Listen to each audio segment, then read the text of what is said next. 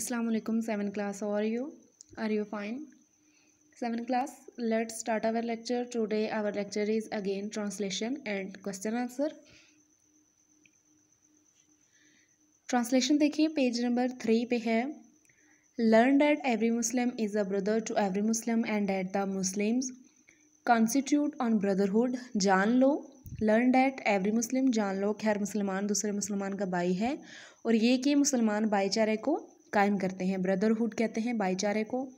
Nothing shall be legitimate to a Muslim which belongs to fellow Muslim unless it was given freely and willingly कोई चीज़ एक मुसलमान के लिए जायज़ नहीं होगी जो इसके किसी हम मुस्लिम की मलकियत हो, जब तक वो इसको आज़ादी और रजामंदी से ना दे। मींस के अगर किसी के पास कोई जायदाद वगैरह है तो तब तक वो किसी दूसरे मुसलमान की जायज़ नहीं होगी, जब तक वो जो जिसके जायदाद है वो उसे उसकी मलकियत करार ना दे दे, अपनी रजामंदी ना दे दे, तब तक उस पर उसकी कोई हक नहीं।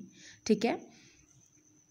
Do not therefore do injustice to your to yourself do not justice इसलिए खुद से ना इंसाफ़ी ना करो कि आप किसी की किसी की चीज़ पर खुद से कब्ज़ा कर लें। All mankind is the progeny of Adam and Adam was created out of clay.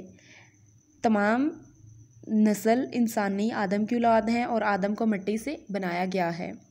हज़रत आदम की बात हो रही है। Behold every claim of privilege whether that of blood of property is under my heels except that of the custody of the Kaaba and supplying of water in the pilgrims.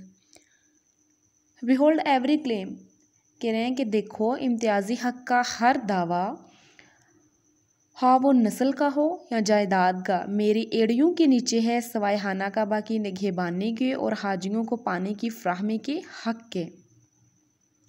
ये अल्लाह ताला इरशाद फरमा रहे हैं कुरान करीम में, ठीक है?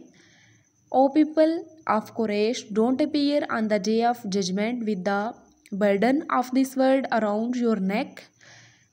Quraysh के लोगों कह रहे हैं कि ए कुरेश के लोगों, क्यामत को रोज़ अपने गर्दनों में इस दुनिया के बोझ के साथ ना आना।